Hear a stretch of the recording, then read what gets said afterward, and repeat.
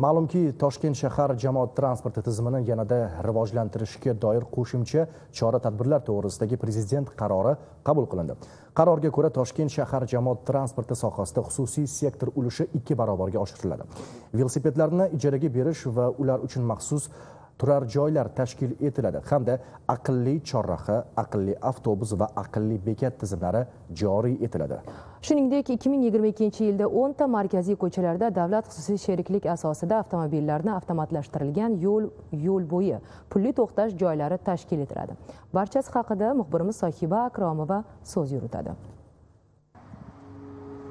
Noodatiy o'ziga xos dizayndagi ushbu avtobuslar poytaxtimiz aholisi ayniqsa yunusobod mavzesi oltinchi dahasidan beshyog'och maydoni yo'nalishida doimo qatnaydigan yo'lovchilar uchun yaxshi tanish. Odatiy avtobuslardan farqi unga yoqilg'i shart emas ya'ni avtobus elektr tokidan quvvatlanadi. Gap bir necha kundan beri toshkent ko'chalarida harakatlanayotgan ellik birinchi yo'nalishdagi elektrobuslar haqida ketmoqda.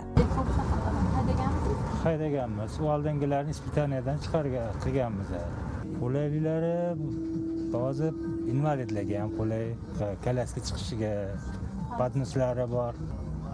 Haydovchiga qulayligi bor. Shaxofga qarshi yong'inga qarshi. Nima qanaqa bo'lsa o'shani yetib turadi. Elektrobuslarning ish vaqti soat tongi besh o'ttizdan to kechki yigirma ikki o'ttizgacha belgilangan mazkur yo'nalishda sakkizta elektrobus yo'lovchilarga xizmat ko'rsatib kelmoqda oraliq interval ham o'n o'n bir daqiqani tashkil etadi Ну, до Лайского обычно еду тоже. И до конца. На конечке мы выходим. Вот с кольца я сажусь. И хорошо, что их много. Вот сейчас, 51 Judayam qulay. Mana zaryadniklar bor. Bemalol. Обстановка мирная, теплая, уютная. bu kabi ijobiy o'zgarishlar hali boshlanishi sababi xabaringiz bor. Kuni kecha toshkent shahar jamoat transporti tizimini yanada rivojlantirishga doir qo'shimcha chora tadbirlar to'g'risidagi prezident qarori qabul qilindi va unga ko'ra sohada yana bir qancha islohotlar bo'lishi kutilmoqda. Aholini jamoat transportiga bo'lgan e, ishonchi birmuncha pasaygan biz shahar jamoat transportidan foydalanish darajasini yana ikki barobarga oshirishi bu ushbu qaror bilan belgilangan. Konsepsiyaga ko'ra toshkent shahrining magistral ko'chalari jumladan keles yo'li ahmad donish bog'i shamol buyuk ipak yo'li maxtumquli va beruniy ko'chalaridagi o'n bitta avtobus yo'nalishida alohida yo'laklar tashkil etiladi. Ushbu magistral e, yo'nalishlarimizni ko'chalardan erkin harakatlanishlari boshqa oqimga transport oqimiga qo'shilmasdan e, bir manzildan ikkinchi manzilga aholini yetib borish vaqtini bir muncha qisqartirish maqsadida ushbu e, o'n bitta magistral ko'chalarimizga biz ajratilgan yo'llarni tashkil etish rejalashtirilgan.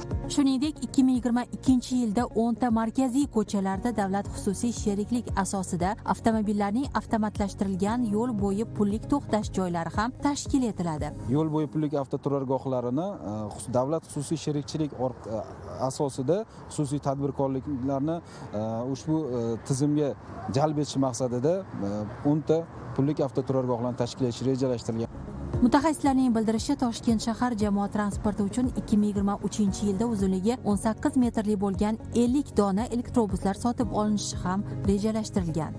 Bu toshkent shahrining markaziy ko'chalarida ya'ni o'sha magistral yo'nalishlarda tasarruf etishni rejalashtirmoqdamiz. Sohiba akromova zimjon qahramonov abror yo'ldoshev zamon informatsion tahliliy dasturi uchun